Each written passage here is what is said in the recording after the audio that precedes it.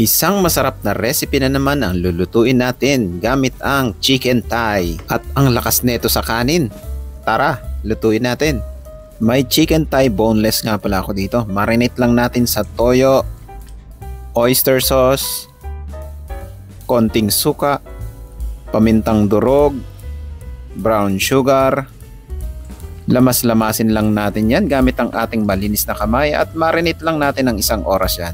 Tapos tustahin lang natin yung balat ng chicken thigh. Lagyan lang natin ng konting tubig, tapos takpan lang natin hanggang sa kumatas yung kanyang mantika. Yun na rin gagamitin natin pang garnish mamaya yung balat ng manok. Igigisa lang natin ang sibuyas hanggang sa medyo maluto lang siya. Tapos set aside lang natin yan. Igigisa lang natin ang bawang hanggang sa medyo matusta. Tapos ilalagay na natin yung minarinate natin chicken thigh. Halu-haluin lang natin konti. Tapos takpan lang natin yan hanggang sa maluto or hanggang sa medyo magmantika itsura. Pagkatapos medyo matuyo na kagaya niyan, ilalagay lang natin ang itlog ng pugo tapos yung ginisa nating sibuyas kanina. Halu-haluin lang natin tapos lalagyan natin ng konting tubig. Halu-haluin lang natin hanggang sa lumapot. Depende sa inyo kung gaano karaming sauce ang idadagdag nyo dito. Lagyan natin ng spring onion tapos ready na yan. Tignan nyo naman kung gaano kasarap yan. Tapos ilagay mo lang sa ibabaw ng kanin. Tignan mo naman. At igagarnish lang natin yung crispy chicken skin na niluto natin kanina. Siguradong mapapakanin ka kapag ganito ang ulam mo. Sana maluto mo to, napakadali lang at napakasarap. Ayun lang, see you in my next cooking trip ko.